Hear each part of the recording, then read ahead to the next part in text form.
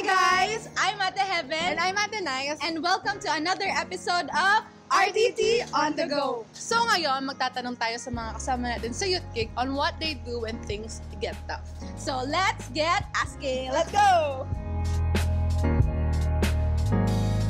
Meron kaming quick question for you. What do you do when things get tough? Um, unang pumasok sa isip ko is to pray.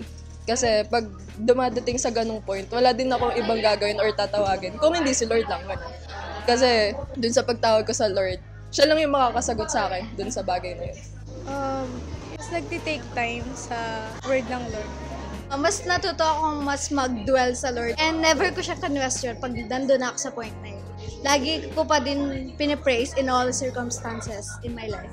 Ayun po. Usually, ayun, prayers talaga. Siyempre, ayun, worship din. Kasi, uh, regardless kung ano nararamdaman natin, uh, we should know how to uh, seek God first talaga. pinaka main na ginagawa ko, talagang nagpe-pray po.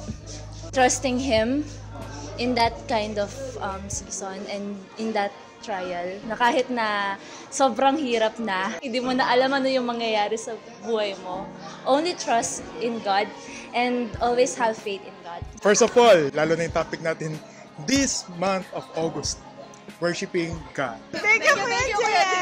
Thank you, Ate Ate. Ooh, when things get tough, oh my gosh. Yung reaction ko like, oh my gosh, Lord, ang hirap. Pero after nun, syempre, i-surrender ko siya kay Lord, tapos mag-aas ako ng help na, Lord, can you help me kung ano yung gagawin ko dito? First, talaga ako magrarant kay Lord. Kasi dati, nasanay ako na magrarant ako sa mga friends ko, yung parang, uy, nahirapan ako. Pero natutunan ko sa mga preaching na pinapakinggan natin is to really give it all to the Lord. And then afterwards, parang sobrang freeing, sobrang light lang ng lahat ng bagay. So, yun, praise the Lord talaga. When things get tough, just give it all to the Lord. Unang-una, syempre, nananalangin siya. Dapat ilapit natin sa Lord. Sabi nga niya, bago pa man natin ilapit sa Kanya, alam niya na yung sagot. Kaya ayun, prayer. Prayer. ano, ah, worshiping God talaga. Kasi yun, ah, sa kanya lang talaga mahanap yung tunay na peace, diba? Kahit anong pinagdadaanan mo sa buhay, kahit na anong, paano kabigat yan, once na nag-worship ka kay Lord, as in, alam mo yun, parang yung comfort talaga mararanasan mo sa kanya. Kaya yun. So guys, ngayon nalaman natin ano yung mga sagot ng mga kasama natin sa youth gig when things get tough. Alam namin na bitin kayo. Kaya, there's more!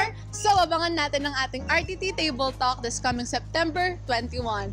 See you online!